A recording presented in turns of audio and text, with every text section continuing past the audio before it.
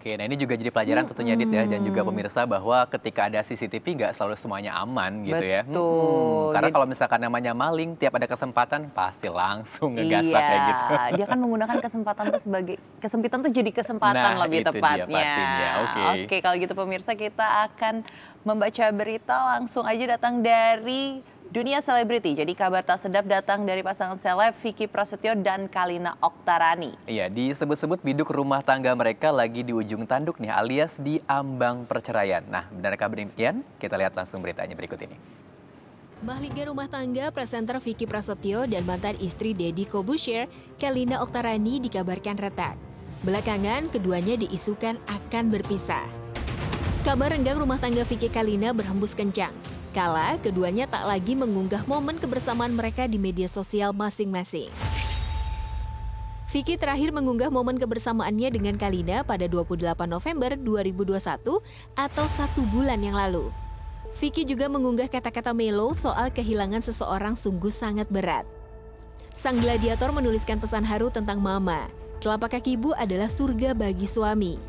Sama seperti Vicky, Belakangan, postingan Kalina lebih sering bersama teman-temannya daripada dengan sang suami. Terakhir, kebersamaan Kalina dan Vicky dibagikan pada 26 November 2021 kala keduanya bersama keluarga dan tim menghabiskan waktu di Dufan. Terlepas persoalan rumah tangganya, Kalina membagikan momen bersama putra semata wayangnya. Hasil pernikahan dengan Deddy Kobusher, Aska Kobusher. Kalina menuliskan pesan haru dan menyampaikan terima kasih kepada Aska. Kalina juga meminta maaf karena tidak menuruti perkataan sang anak. Kalina tidak menjelaskan secara gamblang permintaan maaf yang dimaksud.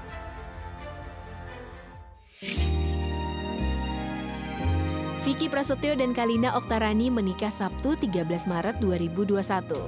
Acara dihadiri sejumlah keluarga. Di acara akad nikah, Aska Kobusher tidak hadir.